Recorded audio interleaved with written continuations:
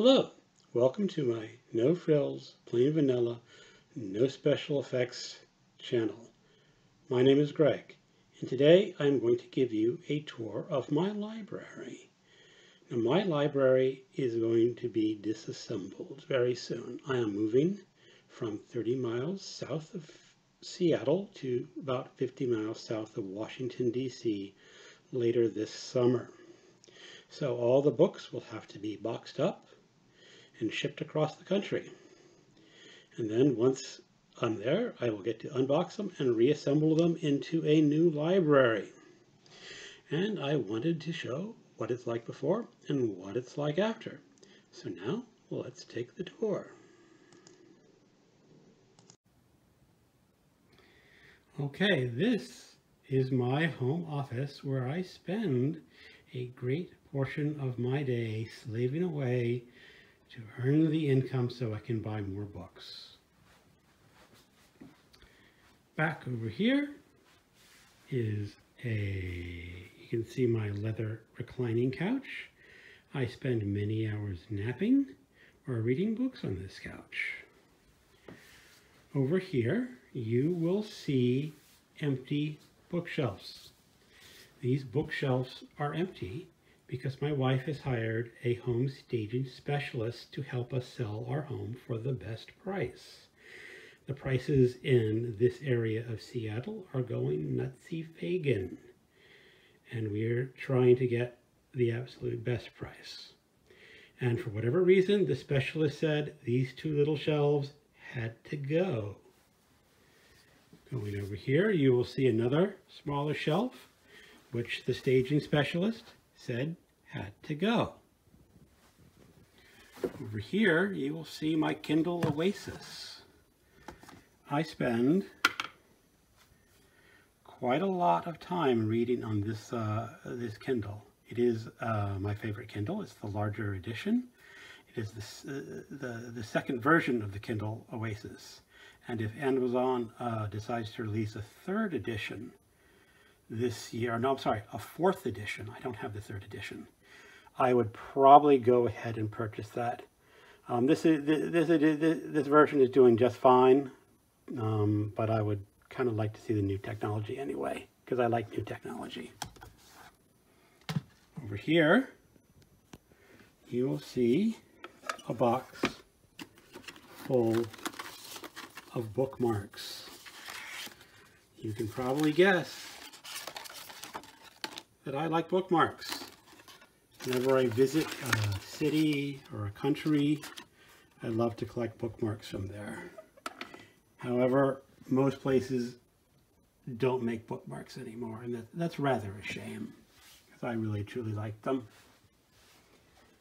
On the top shelf over there, you will see some art books and some anthologies and short story collections. Now over here you have my mass, the beginning of my mass market collection.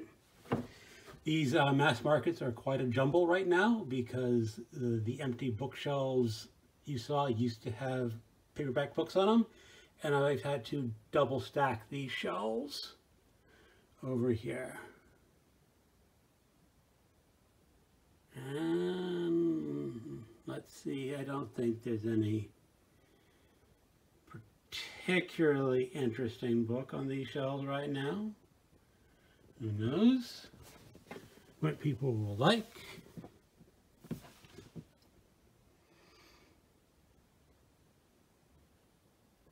And going down, we see more paperback books continuing. Over here. Over here and down here. Now, one thing I'm going to show you is I cover my books with these uh, plexiglass sheets. And the reason I cover with plexiglass sheets is about 15 years ago, one of my cats developed a urinary tract infection. And if you know anything about cats and urinary tract infections is that when, when they're ill, they will not use their litter box, but they will pee up against flat surfaces.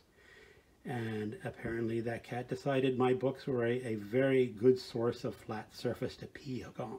Pee on. So I, I, I lost the collected works of Wallace Stegner to cat urine. And after that, I decided to protect my books and take my cat to the vet to get pills to um, make sure she uh, got better from her urinary tract infection. Up top you will see some more anthologies.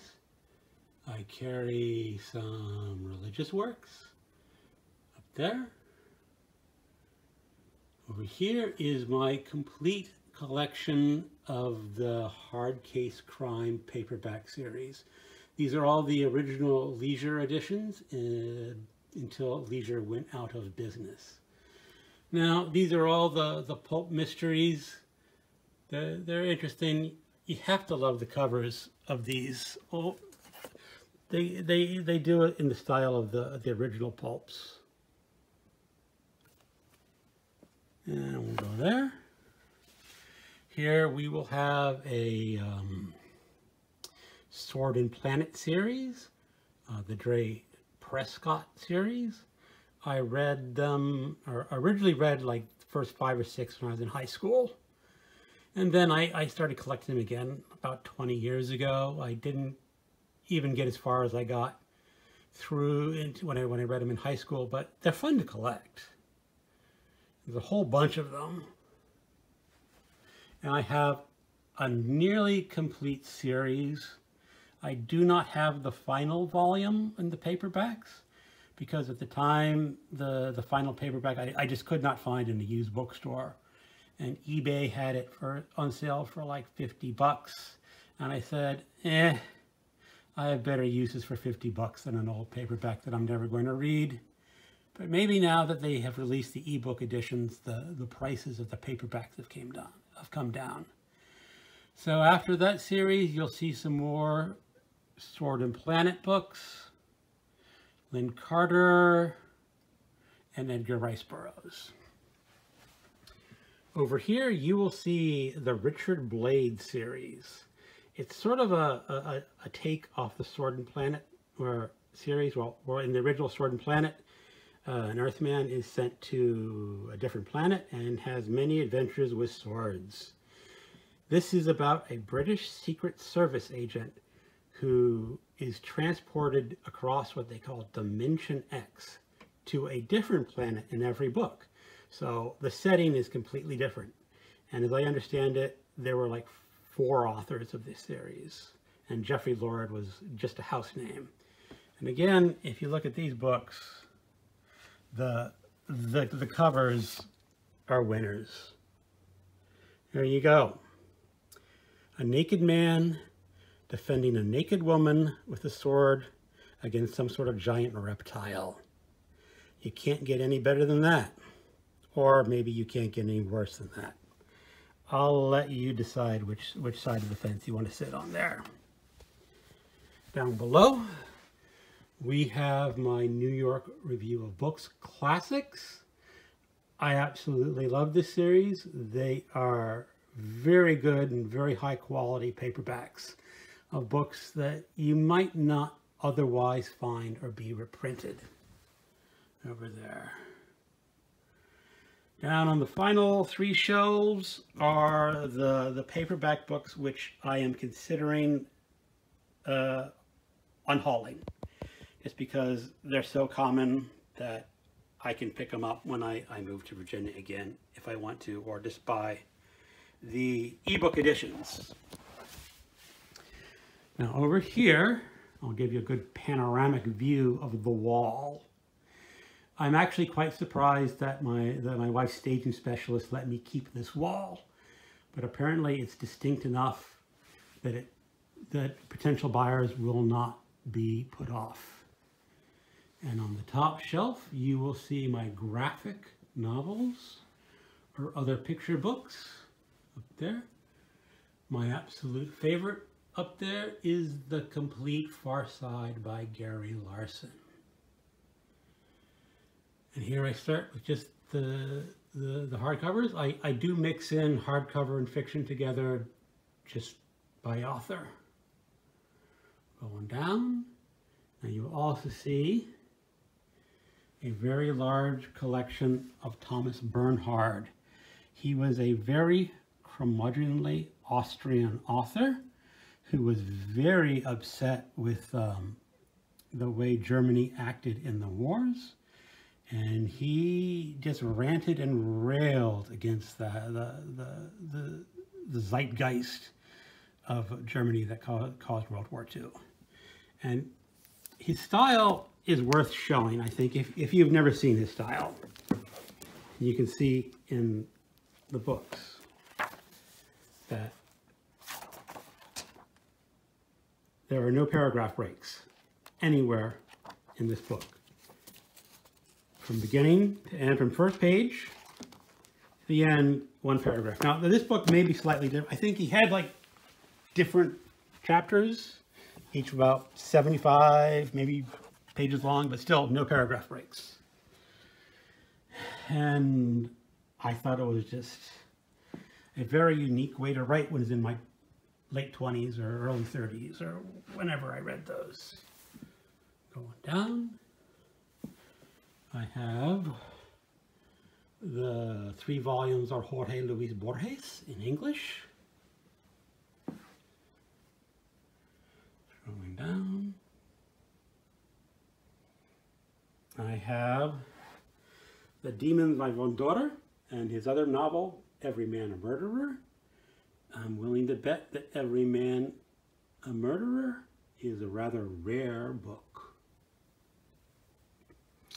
So going down the bottom shelf, up there, and going up.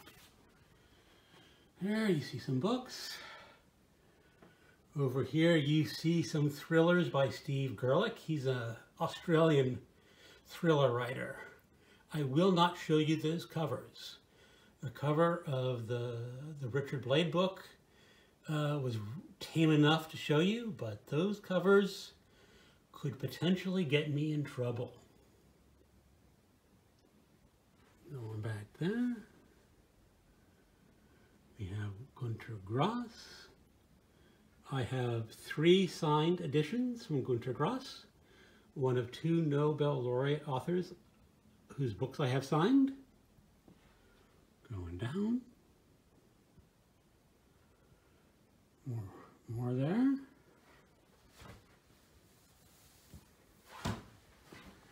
And more books. Got my Homer. I have two editions of the Odyssey. Right there. All right, this one might be interesting. I'm not going to unwrap its covering. But this is an original hardcover edition of Stephen King's uh, The Gunslinger. This is supposedly limited to 10,000 editions.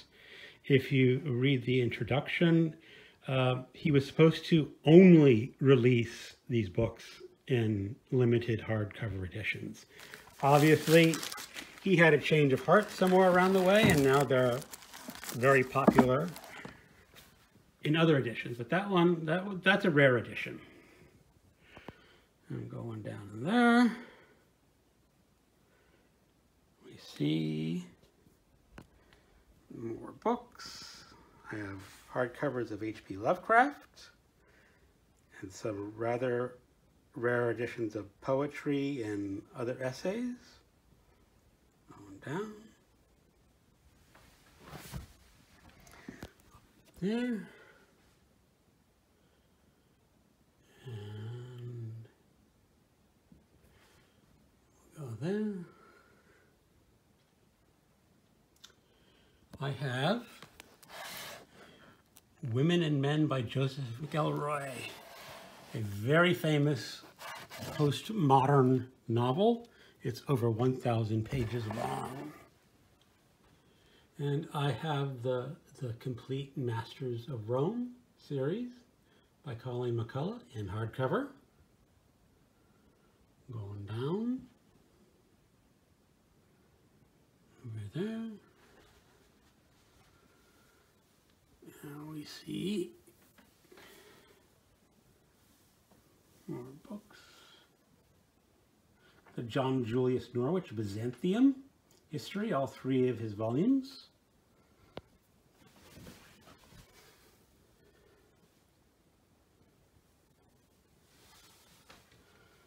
And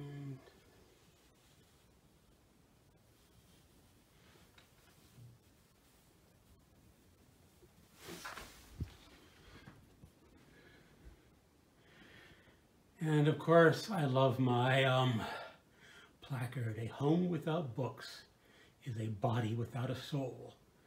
A quote from Cicero. We have up there books by J.R. Salamanca. He was a writing professor when I was in college. Um,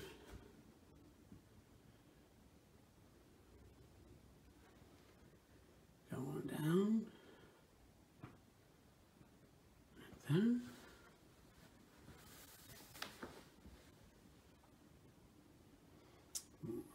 Over there.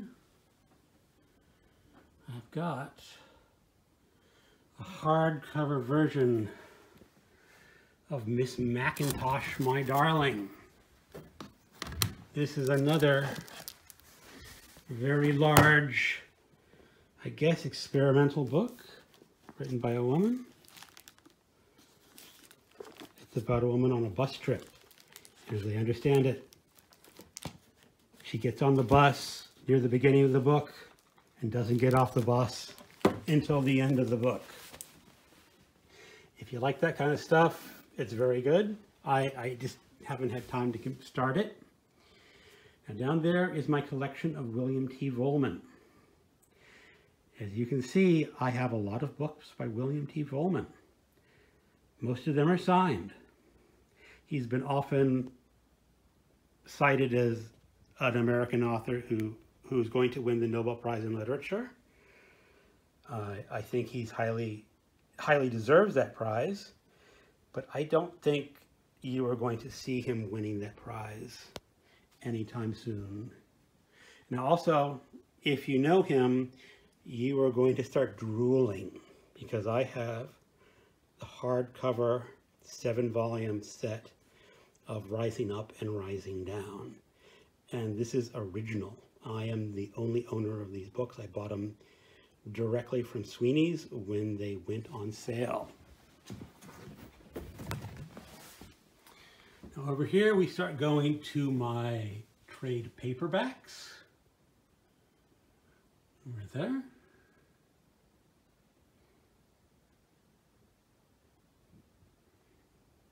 And and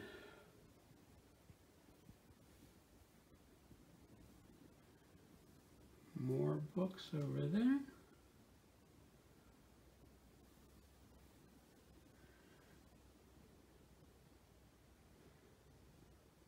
And there you see the Flashman series. I read those um, probably in the 90s. The, the first few books are probably the funniest, or one of the funniest books I have ever read. Uh, Flashman is uh, actually based on um, a very minor character from a book, uh, Tom Brown's School Days. And he was the school bully who got expelled. And Flashman is an incredible coward. And he's so cowardly, he fights very vigorously to get out of danger. And everyone thinks he is a fabulous hero. And the only thing about the series is that um, he is a horrible human being. He's a womanizer.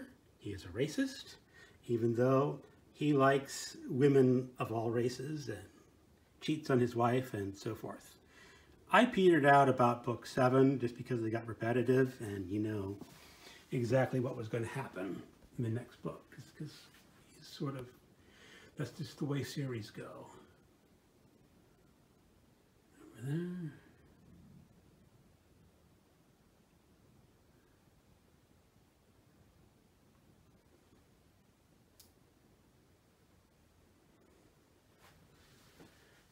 Over there.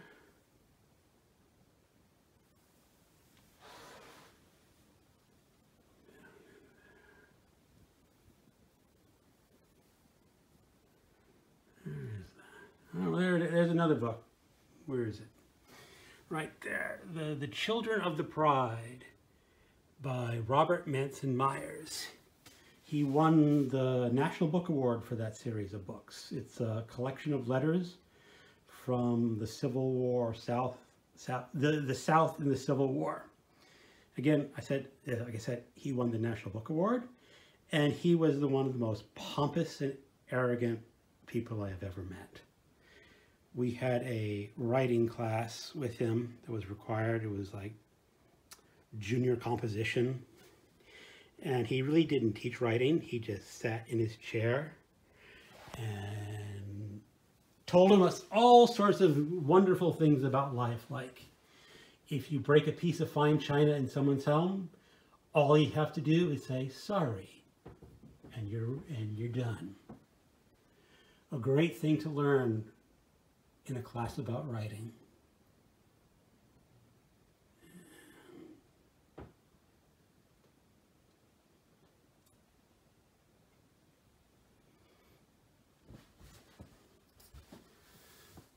And over here, we have one of my second books signed by a Nobel Prize laureate, Conversations in the Cathedral.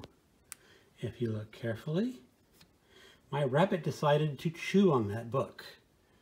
He had very excellent taste in books. And my Jim Thompson books. Going down. down Here, now these are my open letter books. When a publisher publishes books in uniform editions like this, I, I, I do tend to keep them all shelved together because I think that's a very nice look on the shelf. Going over here, I actually have a paperback collection of uh, Miss Mackintosh, My Darling. I picked it up when I went to the Friends of Seattle Public Library where you could just fill like a bag of books for like five bucks. And down on the below, you will see my motley collection of poetry. And going over to the last shelf, this is another shelf that I have to remove before we put my house on sale. We have some reference books on top my collection of four ancient Chinese novels. And then we start into some boxed collections of books. Going down, we see some more books. And here's a good one. This is Bottom's Dream by Arno Schulz. This is an absolutely ginormous book. And it's 1,400 pages long, and it's giant. Look at look at the size of that book. It's almost a hand, um, right there, larger than that other hardcover, and it's printed in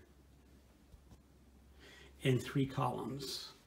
Let's go ahead and take a look at that one. It's an interesting book to look at. Oh, I just can't carry it one hand.